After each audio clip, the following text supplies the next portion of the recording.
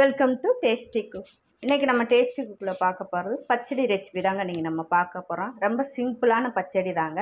இது பிகினர்ஸ் கூட ட்ரை பண்ணலாங்க. இப்போ வாங்க நம்ம வீடியோக்குள்ளே போயிடலாம். வீடியோக்குள்ளே போகிறதுக்கு முன்னாடி என்னுடைய சேனலை நீங்கள் இப்போ தான் ஃபஸ்ட் டைமாக பார்க்குறீங்கன்னா டேஸ்டி குக்கை சப்ஸ்கிரைப் பண்ணிக்கோங்க.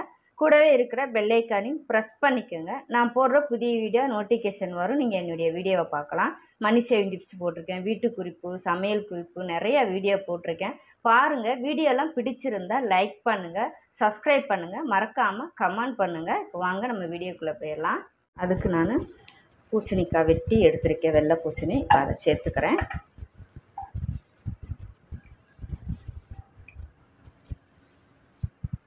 இதில் கொஞ்சம் உப்பு சேர்த்துக்கலாம். உப்பு சேர்த்துட்டு கொஞ்சமாக தண்ணி விட்டுக்கலாம்.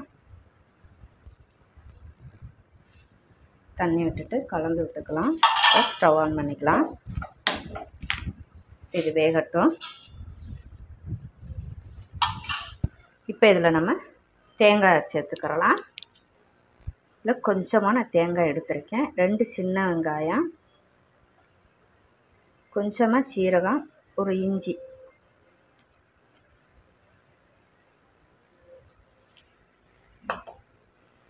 இப்போ இதில் ஒரு ரெண்டு ஸ்பூன் அளவுக்கு ரெண்டுலேருந்து ஒரு மூணு ஸ்பூன் அளவுக்கு நம்ம தயிர் சேர்த்துக்கலாம்.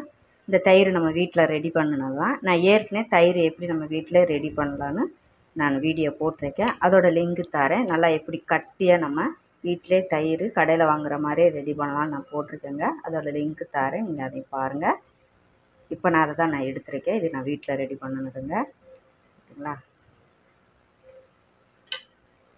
இது இப்போ நான் அரைச்சி எடுத்துக்கலாம்.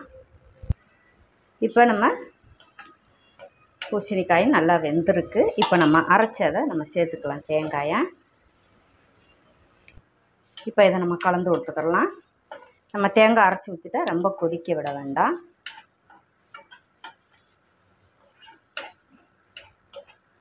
சும்மா அப்படி அப்படியே ஒரு கொதி வந்தால் போதும். இப்போ ஸ்டவ் ஆஃப் பண்ணிக்கலாம். சட்டி ஹீட்லேயே இருக்கட்டும். இப்போ பச்சடிக்கு நம்ம தாளிச்சிக்கலாம். ஒரு ஸ்பூன் அளவுக்கு தேங்காய் எண்ணெய் எடுத்திருக்கேன். இப்போ இதில் கடுகு சேர்த்துக்கிறேன். இப்போ இதில் நான் ஒரு வத்தல் கிள்ளி வச்சுருக்கேன். ஒரு பச்சை மிளகா நறுக்கியிருக்கேன் கருவேப்பிலை மூணையும் சேர்த்துக்கலாம். சேர்த்துட்டு இப்போ கலந்து கொடுத்துக்கலாம். அவ்வளோதாங்க இப்போ நம்ம பச்சடியில் சேர்த்துக்கலாம்.